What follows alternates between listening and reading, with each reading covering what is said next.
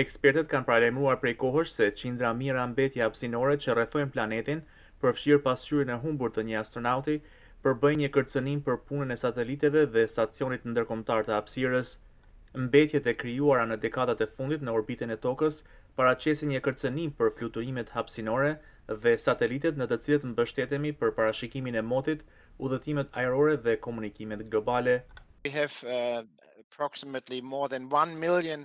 Ne kemi afërsisht më shumë se një milion copa mbetjesh, copëza më të vogla me diametër rreth një centimetër, që fluturojnë rreth tokës. Ky është një problem shumë i veçantë në hapësirë, e cila tani është pjesë e infrastrukturës sonë që duhet ta mbajmë pastër. We have to keep our infrastructure clean. Ekspertët paralajmërojnë se problemi mund të përkeqësohet pasi kompanitë private si SpaceX, Google dhe OneWeb me bazë në Arlington të Virxhinias pritet të dërgojnë një mori satelitësh të rinj në hapësirë në vitet e ardhshme. Kjo mund të shkaktojë një kaskadë përplasjesh gjithnjë në rritje që do të rezultonte në atë që quhet sindromi Kessler që mori emrin e një shkencëtari të NASA-s i cili paralajmëroi katër dekada më parë se orbita e afërt e Tokës mund të bëhet e papërdorshme për brezat e ardhshëm.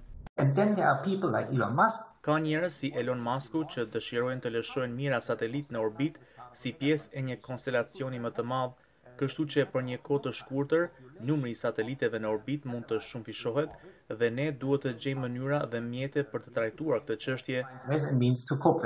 Agjencia Evropiane e Hapësirës thotë se në bazë të marrëveshjes, kompania zviceriane ClearSpace SA do të kryejë misionin e parë aktiv të heqjes së mbeturinave në vitin dy mijë e njëzet e pesë.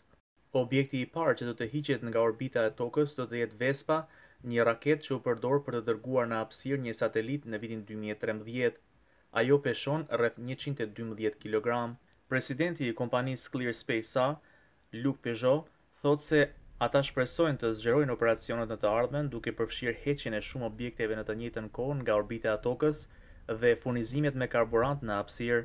More than five thousand non-functional objects. Tani ka më shumë se pesë mijë objekte jofunksionale në orbitë, të cilat duhet të pastrohen ose kanë nevojë për mirëmbajtje. Dhe çdo vit kësaj liste i shtohen shtatëdhjetë e katër objekte të reja.